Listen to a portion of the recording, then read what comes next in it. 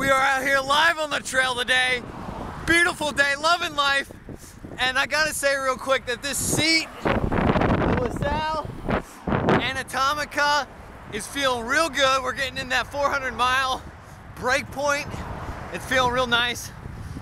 So it's stuff like this that makes me want to ramble until I'm 65 or 80 or whatever. I want to ramble for the rest of my life because people do stuff like this.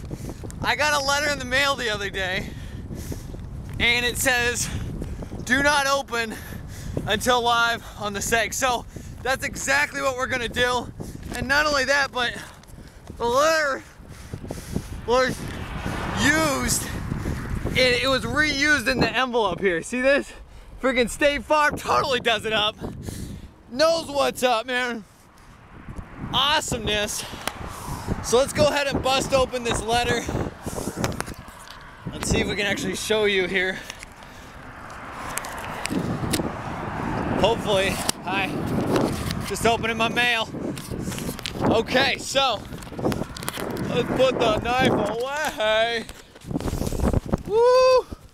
So let's see what's inside this guy here. A piece of paper, no way! And, good morning. Hey, ELFS certified mail. And we do it.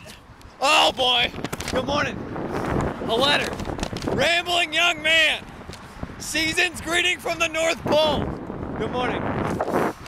My elves have been hard at work preparing for your busy Christmas, my favorite time of year. Last year I caught and lost my belt on a bench in your chimney. Good morning. If you really want your special wishes this year, please leave my belt by the milk. Anyways, if you do a midnight Xmas Eve ramble, I'll be your $20 challenge. challenge rider. For the rest of your viewers, for the rest of the ramble, please share with your viewers the top three Christmas dishes. Okay. Cookies, apple pie, pumpkin pie. I don't I don't know, Santa Claus. Infinity sign, Santa Claus. What a letter. Thank you from the North Pole. Thank you.